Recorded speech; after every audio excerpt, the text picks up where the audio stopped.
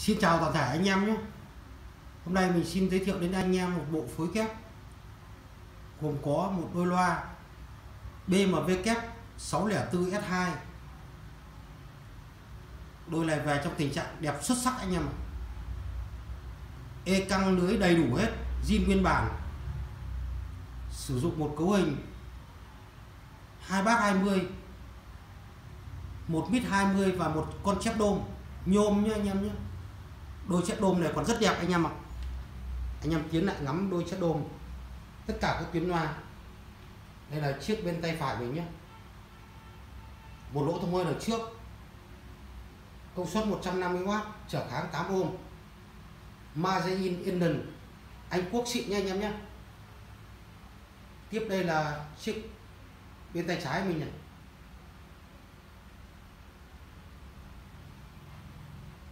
Tất cả các tuyến loa đồng đều, thùng gỗ, góc cạnh còn rất đẹp.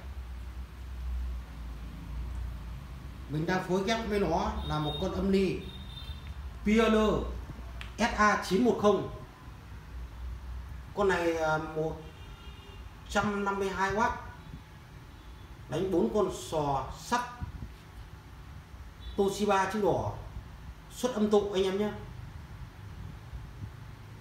anh em tiến lại gần các cái núm nút của nó này. Anh em nhìn này. Máy đẹp xuất sắc anh em ạ.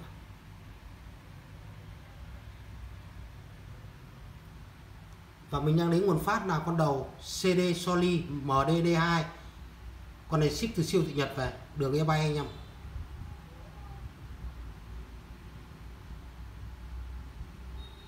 Con đầu này mình đang bán 8 triệu rưỡi và con đâm ly là 8 triệu rưỡi. Anh em có nhu cầu sản phẩm nào, xin liên hệ cho Hà Audio Hải Phòng. Hôm nay mình sẽ test cho anh em nghe một bài trên một bộ cấu hình này. Con đầu CD này, tiếng CD đọc rất hay anh em nhé. MD cũng hay, mà giải mã cũng tốt anh em anh em xem kênh của mình cho mình xin một nút đăng ký kênh anh em nhé. Xin cảm ơn anh em rất nhiều.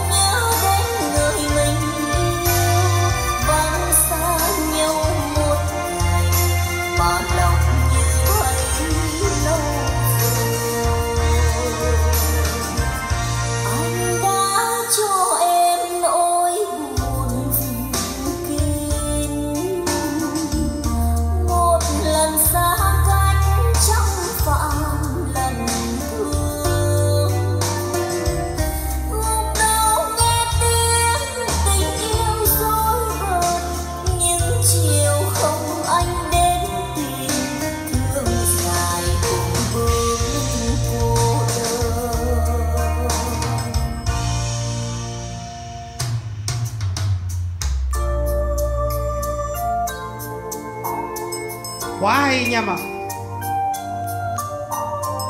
Đôi BB kép này tiếng cực hay luôn. Khi được ghép với âm ly Piano SA910